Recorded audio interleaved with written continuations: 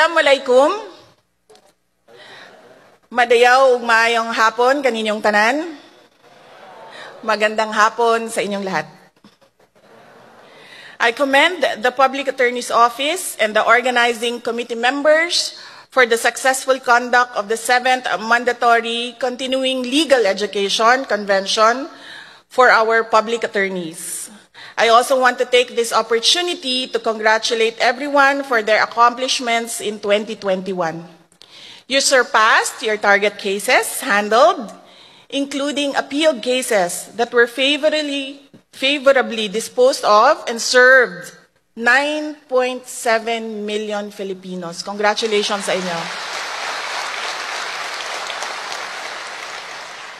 That is not an easy feat considering that we were still in the middle of the COVID-19 pandemic.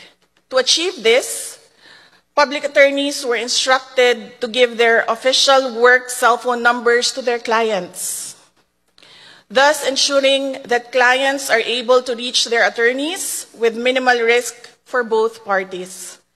PAO also authorized the conduct of home visits for clients with special needs and further expanded its reach through online legal counseling broadcasted live on social media.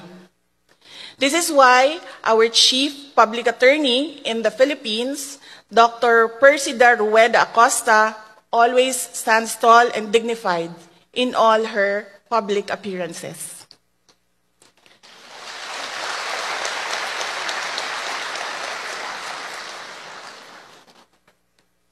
One look at her, and you know she is proud to lead an organization providing accessible, efficient, high quality, and effective legal services to indigents and other qualified persons.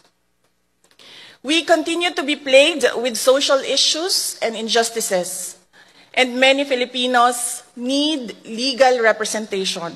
This is true especially among indigenous peoples and the marginalized sector. With limited resources and scant opportunities, their hope for seeking justice depends largely on dedication, commitment, and exercise of servant leadership of our public attorney's office. Just recently, the news on the push for strengthening the enforcement of the Anti-Violence Against Women and Children Act was highlighted when the DSWD partnered with your office for complaints against estranged fathers who fail to provide financial support to their children. Single and abandoned mothers are disadvantaged in carrying the burden of raising their children. The partnership of two government offices provides additional protection to solo parents and their children. In my accession to office, we have started receiving requests from fellow Filipinos currently facing incarceration for free legal assistance and support for expeditious hearings of their cases. Recognizing the substantial role that our lawyers at the Persida Acosta office play, we have conducted initial talks with Chief Acosta for assistance in these requests. Thank you very much, ma'am, for your support to the Office of the Vice President.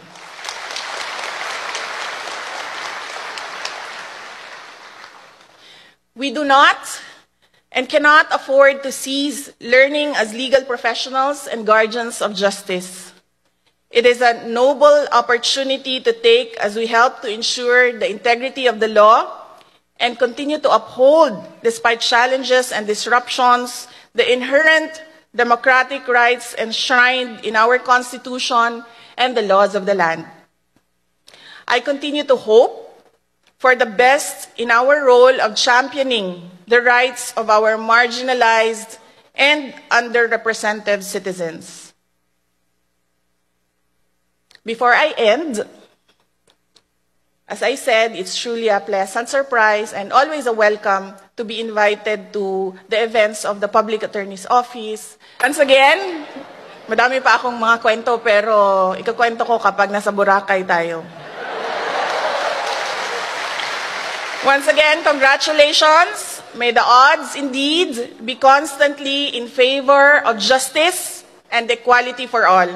Patuloy nating mahalin ang Pilipinas. Shukran.